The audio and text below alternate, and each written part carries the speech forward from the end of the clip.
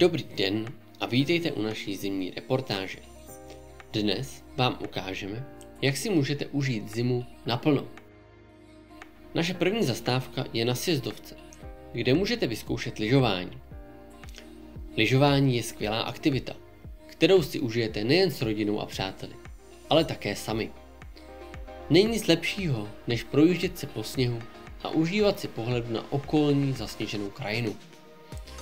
Vzhledem k tomu, že jsme na horské sjezdovce, můžete si užít i velmi kvalitní sníh, který tady leží díky nadmořské výšce.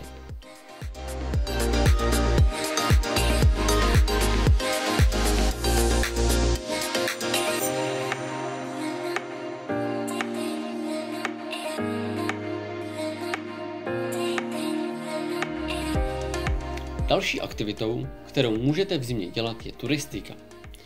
Při turistice se můžete projít nejen po kopcích, ale také po okolních pláních či památkách.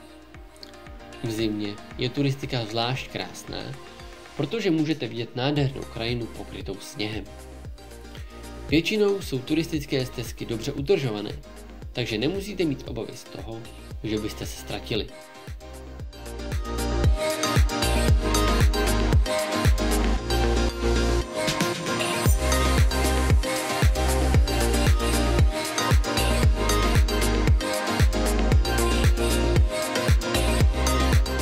Zimě lze provádět mnoho dalších aktivit, jako například bobování, sáňkování, stavění sněhuláků, či například cestování do různých koutů světa.